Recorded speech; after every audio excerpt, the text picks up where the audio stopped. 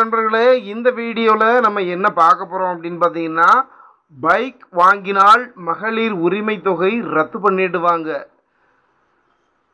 Edappadi K. Palaniswami அவர்கள் புதிய தகவல். தமிழகத்தில் கடந்த செப்டம்பர் பதினைந்தாம் தேதி குடும்ப தலைவிகளுக்கு ஆயிரம் வழங்கும் திட்டத்தை முதலமைச்சர் திரு மு க ஸ்டாலின் அவர்கள் தொடங்கி வைத்தார். இந்த நிலையில் பைக் வாங்கினீங்க அப்படின்னா உங்களுக்கு மாதம் மாதம் ஆயிரம் ரூபாய் வழங்கும் திட்டத்திலிருந்து விடுபட்டு விடுவீர்கள் என்று எதிர்க்கட்சி தலைவர் மற்றும் அதிமுகவினுடைய பொதுச் செயலாளருமான திரு எடப்பாடி கே பழனிசாமி அவர்கள் புதிய தகவல் ஒன்றை தெரிவித்துள்ளார்.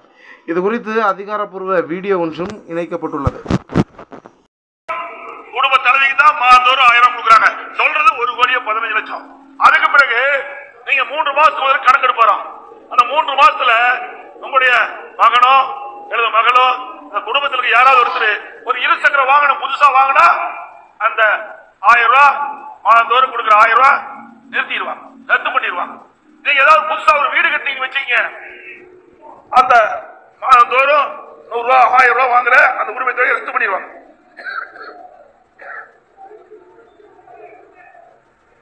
இப்படி ஒரு சட்டத்தை போட்டார்.